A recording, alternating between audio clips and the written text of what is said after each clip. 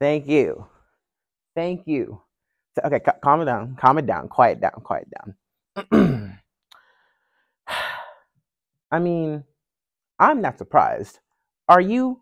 Because I am the best wrestler in this house. Now, I'll be humble for a second. I'll be humble. Co, I would like to thank everyone out there because you guys had enough common sense to vote for the greatest candidate this company has. Unfortunately, you guys didn't have enough common sense for it to be unanimous, so you guys get a couple points knocked down for that. But you guys voted for the right person. Because compared to my competition, what? Torrent? Shock? Come on. Like, granted, they are amazing, amazing talent on this roster.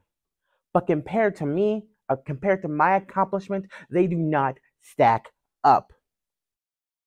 Because let's go over them. Let's go over them. I had a 12 and 0 winning streak. I have the most wins out of every misfit in this house.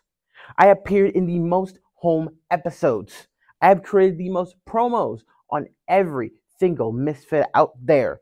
I was the first ever head of household champion. I am the longest reigning head of household champion. I am the youngest head of household champion. And this shot can't even do right. I am the first man to pin Grimes. So, with all my accomplishments, who else could have won this award? Now, granted, 2024 hasn't started out the greatest for me, but that all changes tonight as the man of the year, the man of the house, takes on Luke Draven. Good luck, bud.